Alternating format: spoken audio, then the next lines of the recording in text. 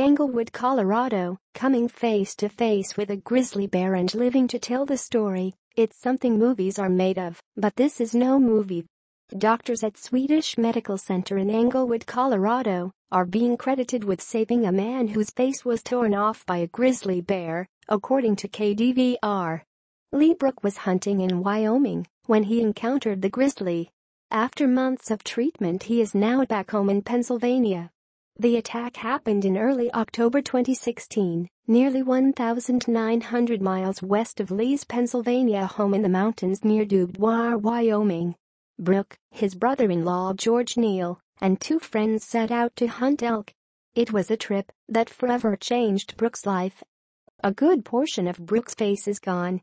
He now uses a tracheal tube to talk.